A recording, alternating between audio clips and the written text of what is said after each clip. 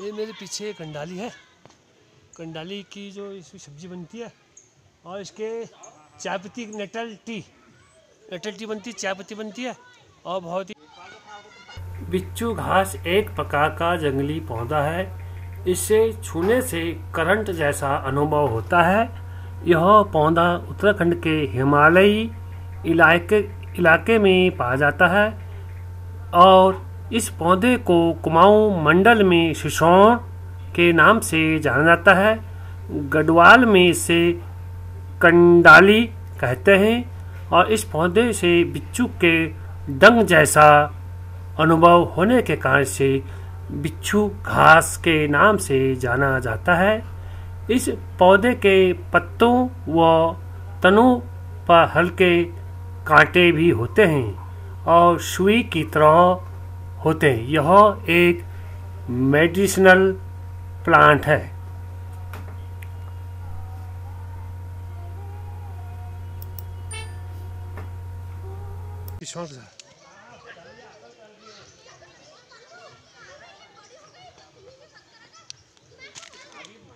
इसको बिच्छू झाड़ बोलते हैं और कंडाली।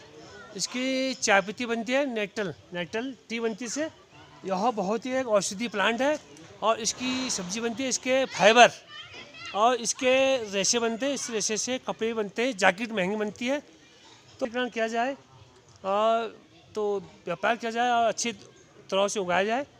तो नेटर से आप काम कर सकते चाय पत्ती बन सकती है और ये औषधि प्लांट है। इसमें फाइबर है, कैल्शियम है, मैग्नीशियम है। इसके पत्तों में और इसके नेटल टी बनती है। तो अगर उत्तराखंड को आय को बढ़ानी है तो एक कदम इसको भी बढ़ाना पड़ेगा। कंडाली शिशौर और इसको बोलते बिच्छू।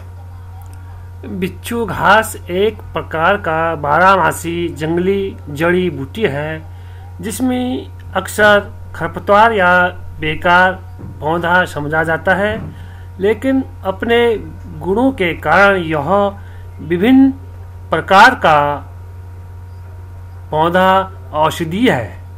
और इसमें एंटीऑक्सीडेंट का काम करता है और इसके पत्ते जड़ तना होते हैं। यह एक औषधि, जड़ी, बूटी नाइटल परिवार से संबंधित है। बिच्छू बूटी के पौधे आमतौर पर दो से चार फीट तक ऊँचे होते हैं। यह पौधा सीधा बढ़ता है। इसकी पत्तियाँ कुछ कठोर और दिल के आकार की होती है और इसकी बाहरी किनारे धातु के समान होते हैं। इस पौधे के फूल पीले या गुलाबी होते हैं।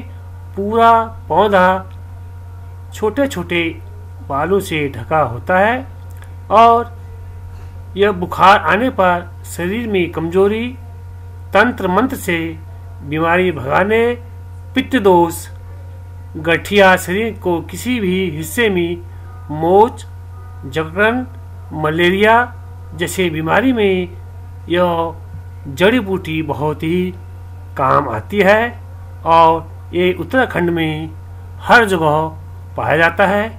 पर्वतीय क्षेत्र में इसकी साग, सब्ज़ी भी बनाई जाती है। इसको तासीर गर्म होती है। यदि हम स्वाद की बात कहें तो पालक की साग की तरह ही स्वादिष्ट भी होता है।